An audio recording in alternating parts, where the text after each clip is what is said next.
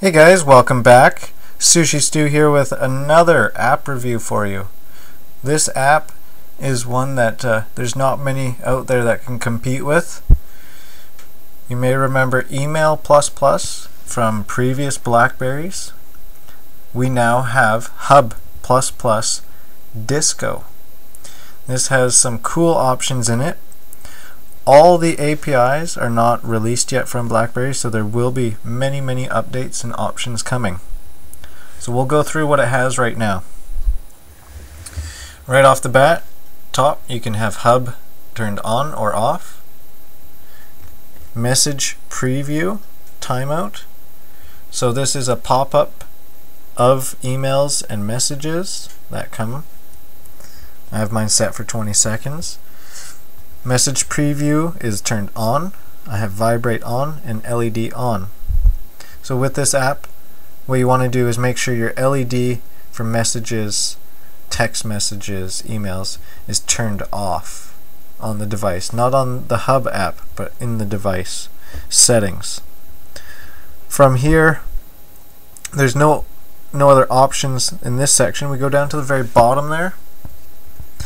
You have Hub++, Plus which is what we're in, our accounts.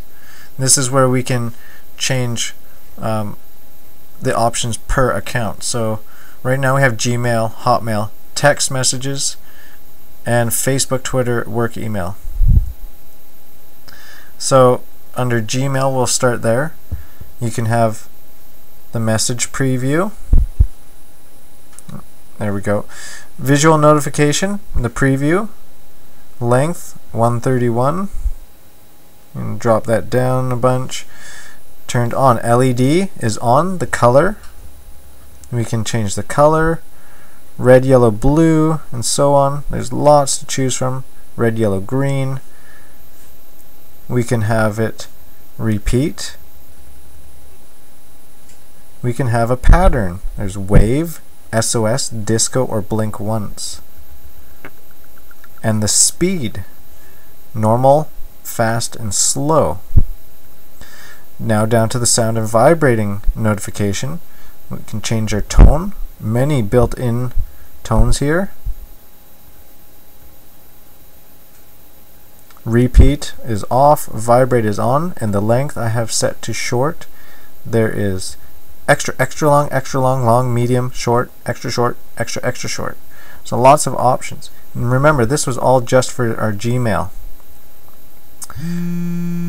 When we turn on an option, it gives us um, a test. So it just vibrated for me. So if we want to change, um, there's the LED going. And its pattern. Uh, the tone, if we change that, it changes and gives us a test. Um, let's see. That one's alright. We'll save that one. And we hit save. So that account is saved. Here's the accounts, remember? You want to go into Hotmail. Pull your options down to the beginning. Preview. LED. The color is green. It's flashing green. We can change that. Let's go red, white, and blue. Our pattern, mm, we'll leave it as SOS. Speed, go fast. Tone, that's the one we just chose, so we're not going to use that one. Machine Poo, interesting title. Not sure I'm going to keep that one. Uh, let's go gentle alarm. No, not for me. Filling inbox, why not? Length, extra short, short, medium for vibrate. And it just tested the vibration. We'll save that. It's good. And you can go into text messages. And the last account was Facebook. Twitter, and work email. And it catches all three of them.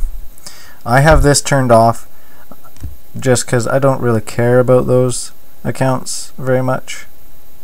But, oh well, it's up to you guys. And then there's also filters. You can create a filter. So select account Gmail, so and so, from, choose a contact. Okay. Priority, so and so. Notifications, preview is on, LED is on, add filter, it's saved. So now I have one filter in here. You can hold it down, which brings out the delete button right here. And deleted that. I'm good to go and make more or keep the one I had. Remember your options down at the bottom, accounts, filters, and the hub. And this is your hub here. If you have both system notifications and Hub++ plus notifications set up for the same account, it may make the notifications hard to understand. It is strongly recommended that you disable system notifications for the message types you control with Hub++, Plus, which I told you in the first, right? Good. So, what you need to do, oh, there's more. You can follow them on Twitter, invite people to download, set a personal message and rate Hub++. Back button, facts, and feedback. So if you have an option you would like to see on here, throw them an email in the feedback. Perfect. It might be added, you never know. With new APIs coming from BlackBerry, there will be lots added. That's Hub++. You need to leave it running for it to take effect. The API for background apps is not out yet. So keep that in mind. It needs to be running. As you can see mine up here, it says monitoring. So it's working away, doing what it's supposed to do. And I'm definitely enjoying this with the extra tones and options that I can change the uh, LED and vibration control. Really cool. So check it out on BlackBerry World, guys. That's Hub++ Plus for the BlackBerry 10 device. Follow me on Twitter at Sushi Stew. Check out my blog, sushistewpb.tk. And subscribe to me on YouTube. And keep up to date. Thanks for watching, guys. Peace out.